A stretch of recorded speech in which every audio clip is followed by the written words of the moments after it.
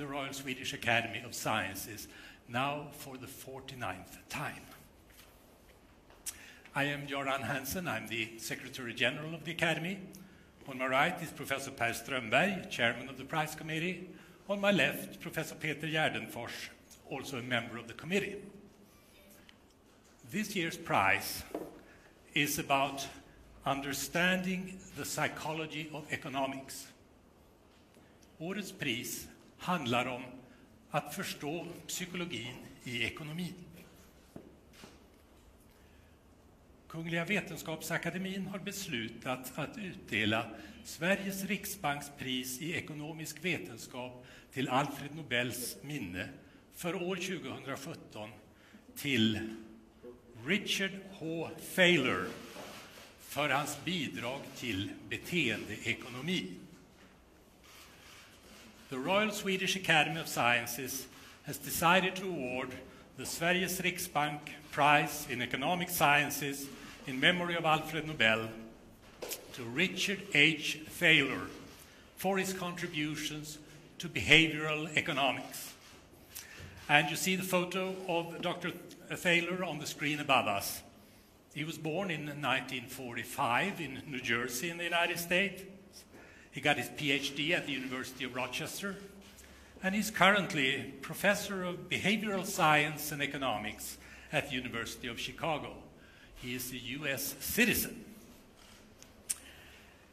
And after that announcement, the chairman of the prize committee, Per Strömberg, will give us some introductory remarks about the research and the uh, laureate of the prize. Thank you.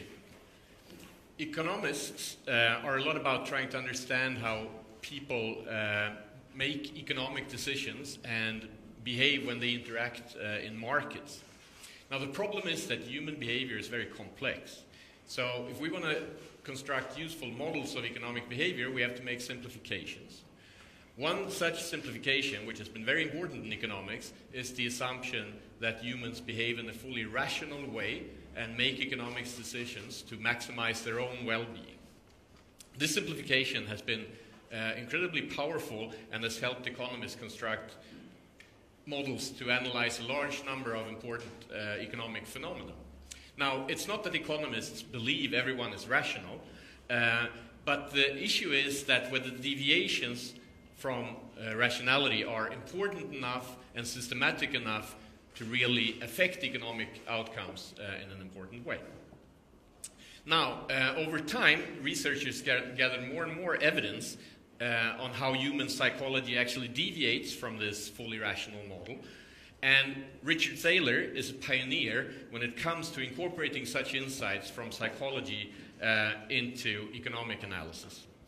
For the last four decades, he has used both theories and conceptual models, lab experiments, empirical tests, and surveys to document and analyze how specific aspects of human psychology systematically shape economic decisions. Richard Thaler's findings have inspired many other researchers coming in his, in his, footsteps, and it has paved the way for a new field in economics, which we call behavioral economics. And thanks to his contributions and discoveries, this new field has gone from being sort of a fringe and somewhat controversial part of economics to being a mainstream area of contemporary economic research.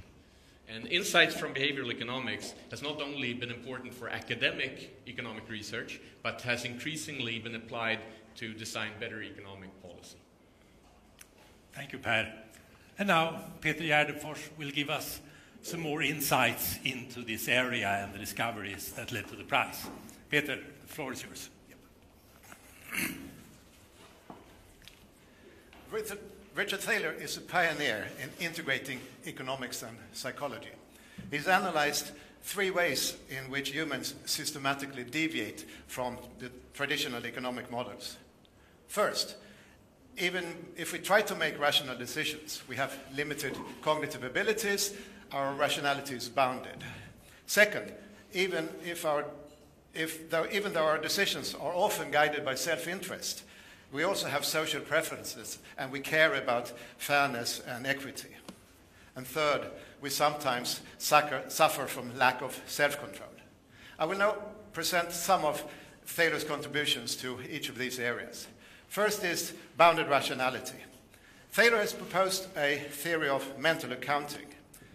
It builds on the observation that most people, in their minds, group their payments into different accounts housing, food, vacation, and so on.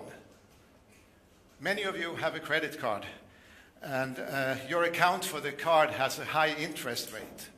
At the same time, you may have a savings account uh, for a future vacation, for a new apartment that has a low interest rate. This may seem irrational, since money from a low interest savings account may be used to pay off the debts on the high interest credit card account. Uh, but you're afraid that if you take out money from your savings account, you will not put it back. So having a credit card account is a way of preventing you from excessive spending. And in this way, we can exercise self-control and commit ourselves to spending less by keeping separate mental accounts. Mental accounts have boundaries over time. They can be opened and they are closed. So, for example, buying a stock can be seen as opening a, a, a new account with the purchase price as some kind of reference level. Um, if a stock gains in value, it's easy to sell it and close the account. But people are aversive to losses. So if a stock loses in value, investors tend to wait for the value to get back to the purchase level, uh, at least. And they therefore hold on to losing stocks longer than is economically rational. The second area is social preferences.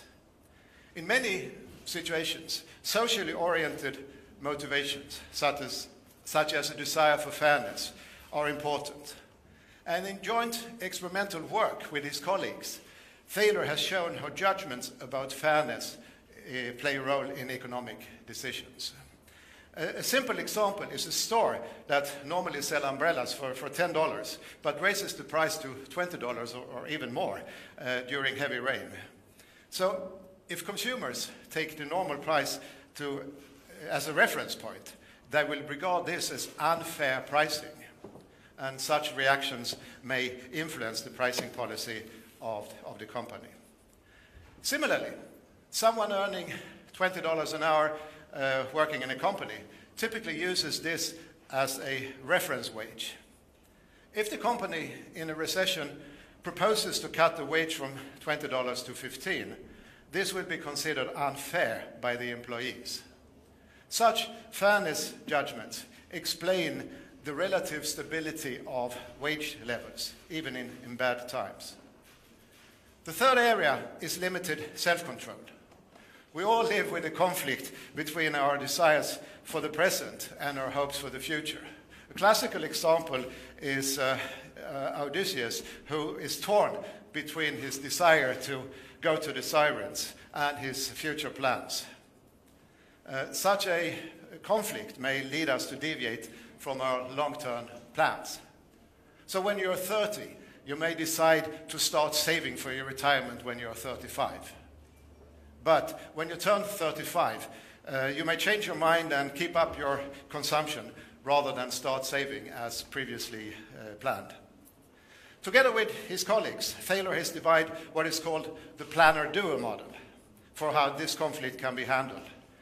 The planner is concerned with the well-being in long run, while the doer only concerns uh, the current, uh, is only concerned about the current well-being. So to resolve the conflict, the planner can either force the doer to do something by exercising costly uh, willpower, or impose rules that limit the range of the doer's uh, choices, just as Odysseus did when he tied himself to the mast. Common examples of such rules are don't keep alcohol at home, only buy one cigarette, a pack of cigarettes at, at a time, or don't buy food when you're, when you're hungry. Uh, the planner-doer model captures the idea that one can, one can resist temptation at the cost to the psyche. Similar dual system models of decision making have later been applied and studied in psychology and in neuroscience. I finally turn to applications of the uh, economic models. Thaler has, together with his colleagues, advocated what they call libertarian paternalism. The idea is to, to design policies that nudge people to, into making better decisions for themselves. For example, Thaler has devised a nudging mechanism for pension savings called Save More Tomorrow. In the program, an individual commits to allocating a share of future salary increases to savings. This policy helps people exercise more self control. An important aspect is that the participants can opt out of the program at any time, but in reality, very few decide to opt out. The Save More program, Save More Tomorrow program has been successful since it has substantially increased pension savings. So, to sum up, Thaler has given us new insights into how human psychology shapes decision making. He has devised new experimental tools to investigate human behavior. His research has spawned a new field, behavioral economics. And he has shown how policies based on insights from this field can help people make better decisions. He's made economics more human. Thank you. Thank you very much, Peter, for that great introduction. Uh, and now we may have Dr. Thaler with us on the phone. He's on his way to the phone, at least. Not yet. While we're waiting, uh, questions to the panel. Anybody who's brave enough to ask uh, uh, one of my colleagues here a question? We prepared for a lot of questions, so don't be shy. Don't hesitate. You had all expected this prize, of course.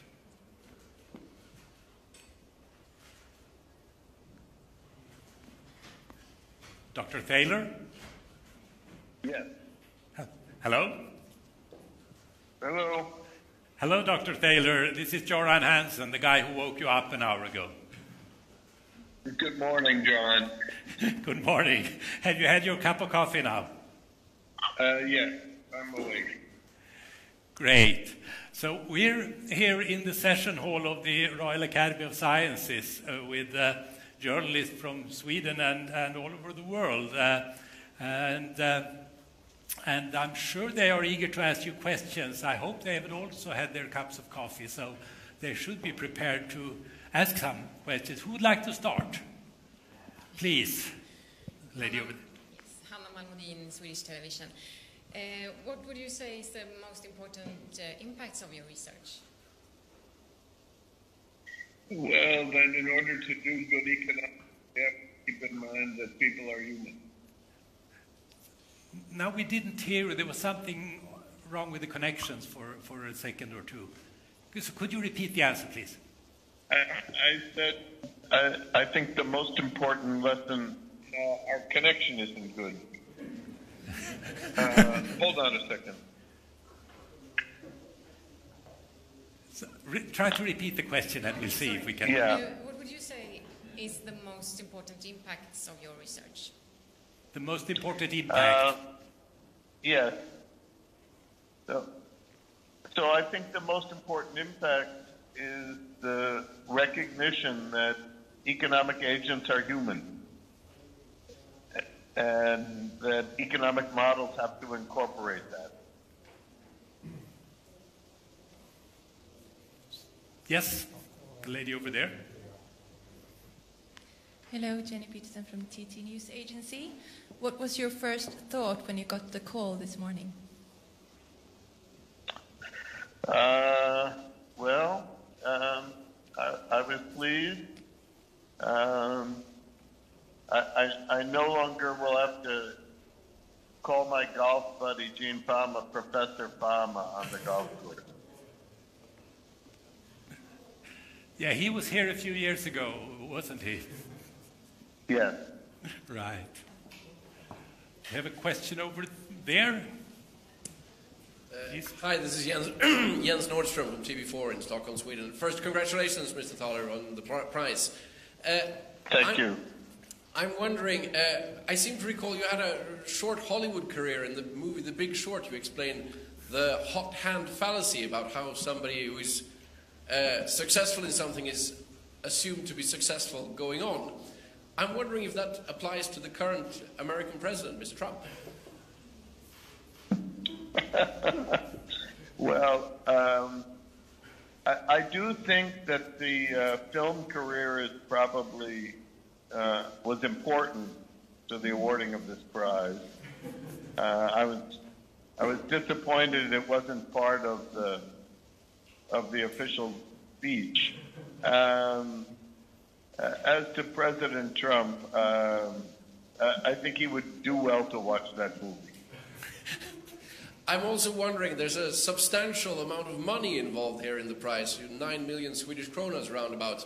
I'm wondering if you're going to be super rational about this money or if you will act humanly, and in what way you will act humanly with the money in that case. Well, you know, this is actually quite a funny question because, as the as the citation noted, one of my fields of research is what's called mental accounting. And according to standard economic theory, there's no way of knowing which money gets spent on what. So, um, if I put my good Chicago economist hat on, then I can't answer your question. but but but I I will say I will try to spend um, as, as irrationally as possible. Very good. Yes, the lady over there, please. Uh, congratulations, uh, Professor Thaler. Uh, this is Jufiten Axelsson from uh, Freelance for China Radio and uh, reporter for Green Post. Uh, I just wonder, you know, in, in your research, uh, did you touch upon the Chinese economy? Because Chinese economy was very much uh, influenced by the Chicago school uh, thoughts, I think. And uh, in your opinion, what's your prediction about Chinese economy in the five years? Say. Thank you. Um, I, I'm sorry, I have no expertise at all on the Chinese economy, except that it's growing very rapidly. But I have not, no insight. Sorry. Okay. Uh, oh, we have a question over there. Yes, please. Professor, Professor Thaler, I had the opportunity to listen to you in Stockholm recently when you were talking about the pension system in Sweden.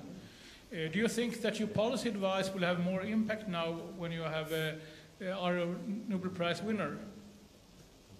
Um, well, I don't know. You, um, I, I don't know whether the Swedish Parliament, uh, how they think about these Nobel Prize winners, but um, uh, I, I hope they they listen to the research I presented and the additional research that my colleagues and I are doing, uh, because I think there are uh, ways to improve the uh, Swedish pension system.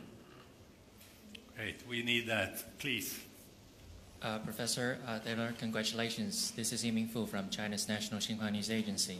My question is, you obviously opened the door for the, uh, uh, the research on economics and psychology. So I wonder, uh, in future, uh, what will your research direction go? And in which specific areas uh, would your research results be applied to? Thank you. Well, I, I've never been one to plan my research uh, very far in advance, but as the previous questioner indicated, uh, I've recently been studying, of all things, the Swedish pension system and uh, the choice architecture of that system. And um, my colleagues and I are working on a paper on that right now. Uh, the tentative title is Nudges Are Forever. Okay. Um, I think we've pretty much covered the, the questions that were raised here. And uh, so Dr. Thaler, thank you very much for being with us at this press conference, and we look forward very much indeed to welcoming you to Stockholm in December. And I, for one, could, could benefit from some advice about my own private uh, pension system. Thank you very much. Thank you, thank you very much. I look forward to seeing you all in December. Thank you. Bye bye. Bye.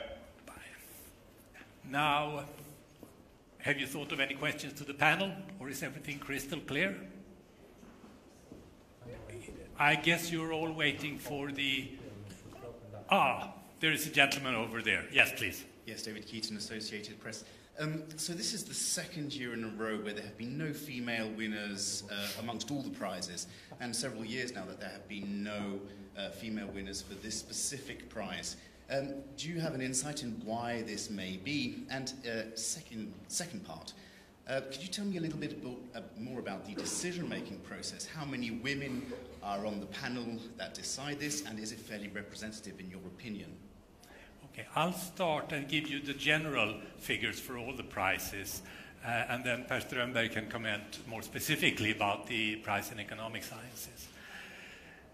We are very proud of the laureates who are awarded this year and were of those last year and so forth. But we are disappointed looking at, uh, in a larger perspective, that there aren't more women who have been awarded. Part of it is, of course, that we go back in time to identify the discoveries. You, we have to wait until they have been verified and validated before we can award the prize. And there were an even a larger bias against women in terms of fewer female scientists if you go back 20 or 30 years. Uh, but I'm not sure that's the entire explanation. We have taken measures, we and the other prize awarding institutions. If you look at the uh, committees now, the Nobel committees, um, there are um, women chairing uh, actually three of the six committees. Uh, there are female scientists or equivalent on all the committees. Uh, so I don't, ex- I don't think there is an, a, any substantial um, male chauvinist bias in the committees. And we are also, the committees have invited, taken special efforts to identify women scientists to start no, to nominate for the prize uh, to a greater extent. But this started this year because we are concerned that we may not get enough nominations of female scientists. Um, we don't we don't nominate ourselves. We invite nominations from the scientific community in the world, and. Uh, I suspect that there are many more women who are deserving to be considered for the prize. And therefore, we have um, started to identify specifically uh, leading women scientists and I invite them to nominate. Uh, we will, starting next year, um, indicate in our invitations to nominate and ask, ask the nominators to identify women scientists and also consider ethnic diversity, geographic diversity. And finally, um, we are going to, going to have a conference this winter with the different prize committees to discuss this issue. So we are concerned. We have, are taking measures. I hope that in five years, ten years, we'll see a very different distribution.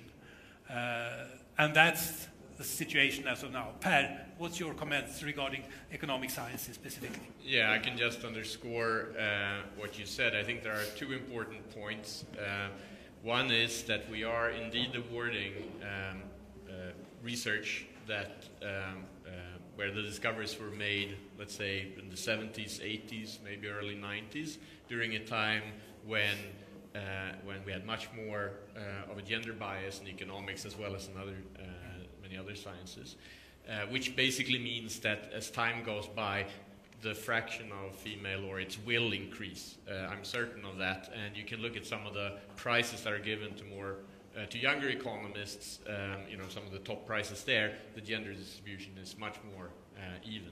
Um, and the second thing is that that said, this is something that we are very concerned about. Um, what you have to realize is that the committee doesn't just freely decide on these prices. We aggregate the opinion of you know nominators all over the world, and we're very reliant on their nominations. So if there's anything we can do, I guess it's a call for the nominating body to to also take these issues more seriously.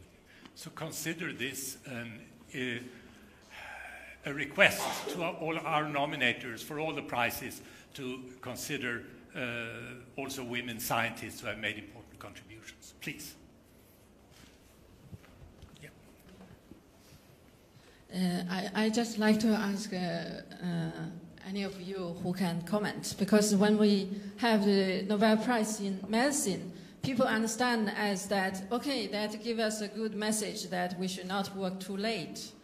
Um, and then in this economic prize, my understanding is that uh, people should be rational and uh, don't spend all, or maybe save your money for pension a little bit earlier or at a reasonable time and uh, quantity. Is uh, my understanding okay? Peter, what Would you you say? comment that? Ye- yes, I mean, that's a fair description. I mean, what distinguishes Thaler's models from others is this, it brings out this conflict between our desires for the present and our plans for the future. And uh, in retrospect, we sometimes regret what we've done last night or last year. Uh, so this, he has devised methods for us to, he has told us how to nudge ourselves to, to be, apply more self-control. And in, for example, in terms of saving, but there are many other application areas as well. More questions? Last final question, please. Uh, my name is Johan Schück from Dagens Nyheter. Uh, uh, I wonder uh, about Richard Thaler getting the prize alone. I mean, if you look back, uh, uh, most years uh, the prize has been shared between different candidates and uh, two or three ones, but this one is the only one. And does that mean that his contribution is so unique, or does it mean that he has been working all alone, or what is the explanation? Well, this is, um, I guess, an issue not completely uh, uh, uh, easy to answer. But I mean, when we when we uh, um, uh, work through these these prizes and these areas that we want to award, um, we we try to find the people that are you know most responsible for the particular area that we want to uh, to give the award to. Sometimes it's a very natural uh, group of people. As you know, we can give uh, award the prize up to three candidates. But other times there is a clear uh, person who is behind uh, the area that we want to uh, award. Um, and I, in this particular case, uh, it was clear to us that, that a solo prize to Richard Thaler was the natural one. Now, there are many researchers following in his footsteps, um, and you know, so one should, would not be surprised if, if other people in this strand later on uh, uh, will also get recognized, but who knows? Okay, I think we'll close there. Those of you who have requested individual interviews uh, will be able to do them right after this. Thank you very much for your interest.